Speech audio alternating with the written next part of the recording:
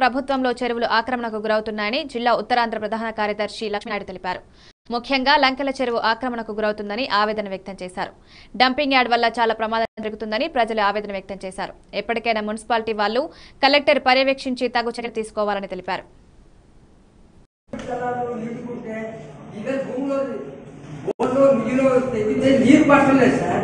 ఇక్కడ చెరువులు బండలు కొనేరులు అన్ని ఆక్రమణలోనే ఉన్నాయి.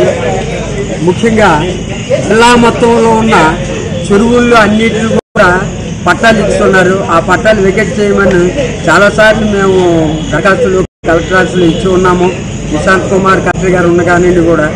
ఈ రోజు వరకు అధికారులు దరఖాస్తు ఇచ్చిన వెంటనే వస్తున్నారు చూస్తున్నారు వెళుతున్నారు కానీ అక్కడ పని మాత్రం ఆ వికెట్ చేయించే పనులు మాత్రం జరగటం లేదు. ఇది ఎంత తూతూ మంత్రంగా జరుగుతున్నది. ఇందులో ఎవరు ఎవరితోని మిలాఖత్ అవుతుండ్రో అర్థం కావడం కూడా లేదు. పార్తపురంలో ముఖ్యంగా డంపింగ్ యార్డ్ ఉంది రాయగడ్ రోడ్ చివరిని. ఆ డంపింగ్ యార్డ్కి ఆనుకుని ఉన్న ఒక గోపసాగరం అనే చెరువు ఉంది. ఆ చెరువుకు నేను మాజీ నీటి సంఘం టీసీ సభ్యుడిని రెండు వేల మూడు నుండి కూడా ఆ చెరువు కూడా అభివృద్ధి కోసం కూడా చేశాను. తర్వాత అప్పటి నుండి కూడా జాయింట్ సర్వే కూడా చేయమన్నాను.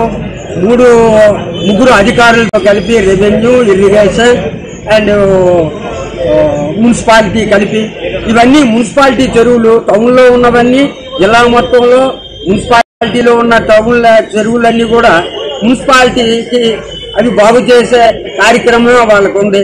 కానీ వాళ్ళే ఏకం సుమారుగా రెండు ఎకరాల చిల్లర చెరువుని ఆక్రమణ చేసి ఆ డంపుని ఒక కొండ మినీ కొండలా తయారు చేశారు.